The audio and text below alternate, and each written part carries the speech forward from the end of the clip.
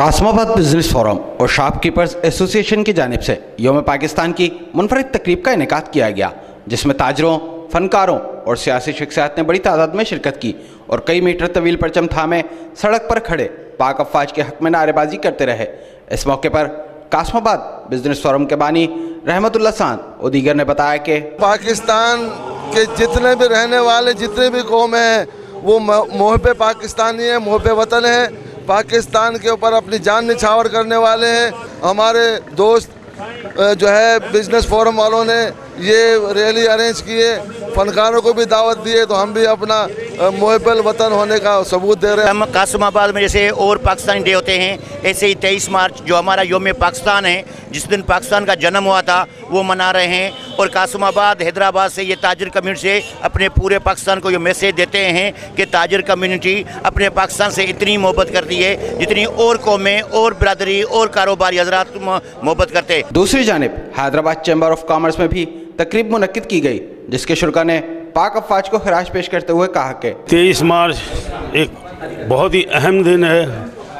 اس پاکستان کے حوالے سے ستر سال ہوئے پاکستان کو آج بنے ہوئے اور جس طریقے سے جو ہمارے یہاں مشکلات اور مصیبتیں آئیں، ہم پاک فوج کو سلام پیش کرتے ہیں کہ انہوں نے ہر قدم اس ملک میں اس ملک کو بچانے کے لیے اور اس ملک کے اندرونی اور بیرونی دشمنوں کو ختم کرنے کے لیے انہوں نے کوئی کسر باقی نہیں چھوڑی۔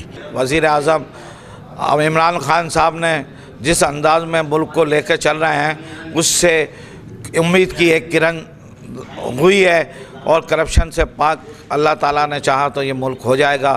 افواج کا کردار جتنی تعریف کی جائے کم ہے افواج نے تو ہمارے اتنے اچھے کارنامے انجام دیے ہیں کہ دنیا مانتی ہے۔ میں پاک فوج کو سلام پیش کرتا ہوں۔ میں تیئیس مارچ کی خوشیوں میں ان شہداؤں کو بھی سلام پیش کرتا ہوں جنہوں نے اپنی جانوں کا نذرانہ دیا قرارداد پاکستان سے لے کے اب تک اس پاکستان کے لیے اپنی جانوں کا نذرانہ پیش کیا۔